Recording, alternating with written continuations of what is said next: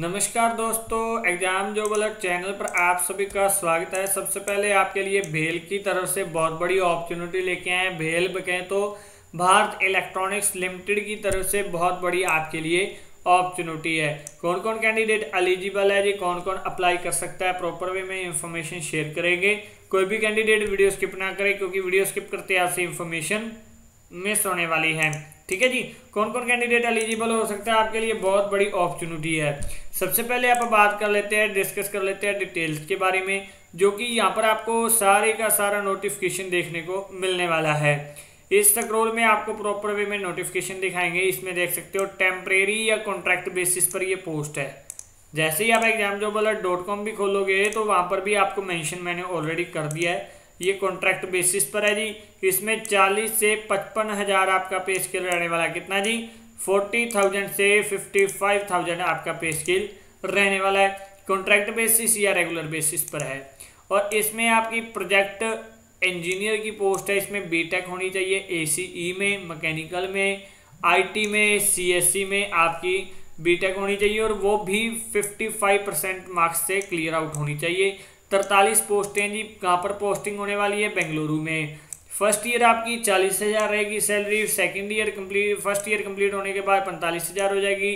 Third second year complete होने के बाद थर्ड ईयर में पचास हज़ार थर्ड ईयर कंप्लीट होने के बाद फोर्थ ईयर में पचपन हज़ार आपकी पे स्केल हो जाएगी।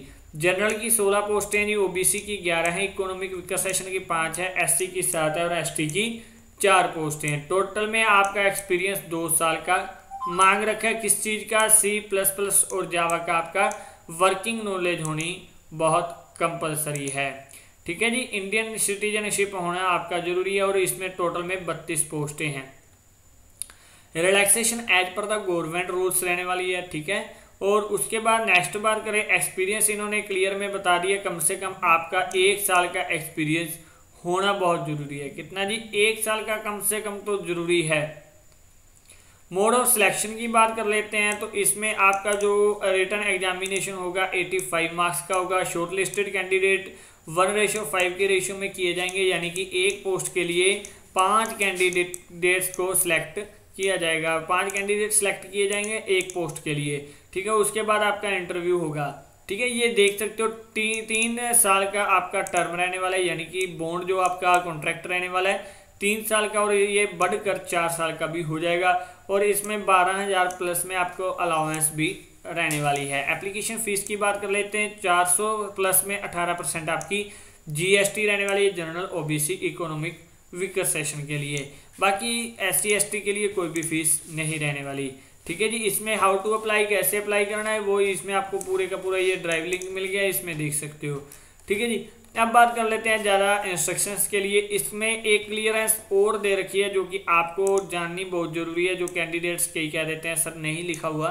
इसमें देख सकते हो, भेल में ये आपने जो फॉर्म अप्लाई ऑनलाइन किया अप्लाई करने के बाद फॉर्म फिलअप होने के बाद पेमेंट होने के बाद प्रिंट आउट निकलने के बाद आपने ऑर्डिनरी या स्पीड पोस्ट करना है जी। क्या करना है जी? ऑर्डिनरी या स्पीड पोस्ट आपने भेल की ऑफिशियली वेबसाइट पर कर देना है। ठीक है? अगर आप ये ऑर्डिनरी या स्पीड पोस्ट नहीं करोगे तो आपका फॉर्म क्या लें एक्सेप्ट नहीं किया जाएगा। उसके बाद नेक्स्ट बात कर लेते हैं ज़्यादा डिटेल के लिए।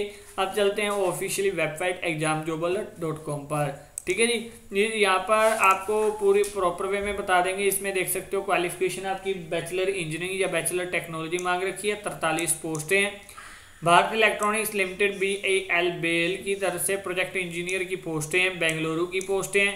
इसमें ट्रेड आपकी ट्रेड के रिलेटेड नॉलेज मांग रखी है, चालीस से पचपन हज़ार आपकी पे स्केल प्लस में ये कॉन्ट्रैक्ट बेसिस पर पोस्ट है जी, और आपकी एक से तीन साल का एक्सपीरियंस मांग रखा है। फॉर्म कब से फिलअप होने स्टार्ट है जी? आठ जून से फॉर्म फिलअप होने स्टार्ट हो चुके हैं।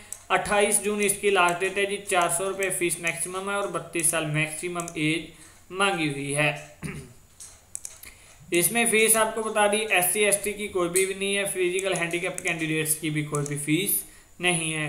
वैकेंसी की बात करें तो दो साल का आपका एक्सपीरियंस मांग रखा है, तरतालीस पोस्टें हैं। वही फ़र्स्ट पेज का सारी का सारा क्लियर आउट आपको चेकआउट मैंने दे दिया यहाँ पर पूरी डिटेल्स में। ठीक है जी, और उसके बाद यहाँ पर देख सकते हो अठारह से बत्तीस साल, एक जून तक आपकी एज मांग रखी है। इसमें बात कर लेते हैं रिटर्न एग्ज़ाम टेस्ट होगा, फिर इंटरव्यू होगा, फिर आपका डॉक्यूमेंट वेरिफिकेशन और मेडिकल ये सारी डिटेल उसी की दे रखी है आपको। इसमें मोड सिलेक्शन की बात कर लेते हैं, जो कि आपको बताया एट्टी फाइव मार्क्स का आपका एग्ज़ाम होगा फिफ्टीन मार्क्स का आपका इंटरव्यू होगा, जिसमें एक पोस्ट के लिए पाँच कैंडिडेट सेलेक्ट किए जाएँगे और उसके बाद तीन साल का आपका कॉन्ट्रैक्ट रहेगा। ये सारी चीज़ें आपको ऑलरेडी बता चुके हैं।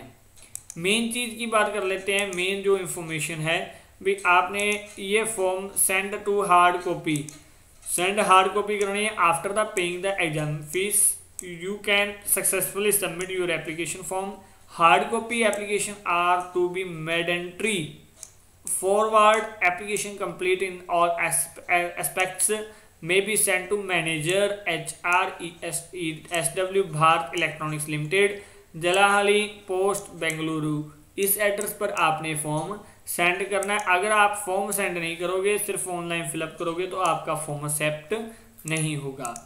अब बात करें जी फॉर्म अप्लाई कैसे करना है। इन्फॉर्मेशन जान ली ये ऑफिशियल वेबसाइट है इन्फॉर्मेशन आपने जान ली है। और अब बात करें यहाँ पर आप, आप कोई भी अपना गूगल अकाउंट से लॉगिन कर सकते हो। ठीक है जो मेल आईडी मेन रखोगे। और उसके बाद यहाँ पर मेल आईडी आप अपनी डालिए।